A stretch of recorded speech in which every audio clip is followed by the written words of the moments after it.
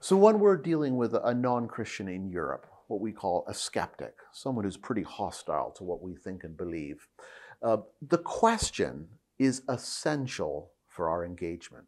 And I would say here we're just following the model of the Lord Jesus Christ. He asked a lot of questions.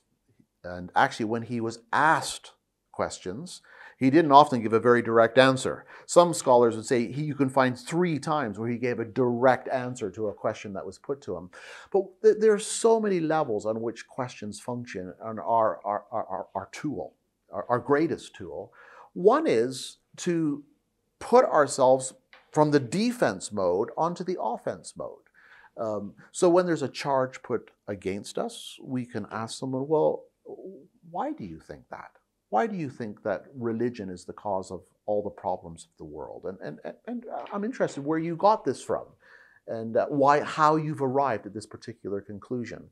Uh, I think the question is great also for actually turning the table so we can begin to understand the worldview of the skeptic. What do you believe on this matter?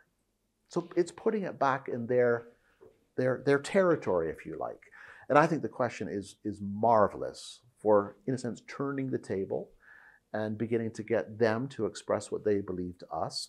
Apologetics is generally framed in terms of giving a good answer to a question, a reasonable answer. But I think we need to see it increasingly today for skeptical Europe as questioning their answer. We use our questions to begin to question the answers they have to the big questions of life. So, questioning the answers of the secular age, I think, is a critical apologetic tool that we need to develop in terms of our understanding and practice as we engage non Christians.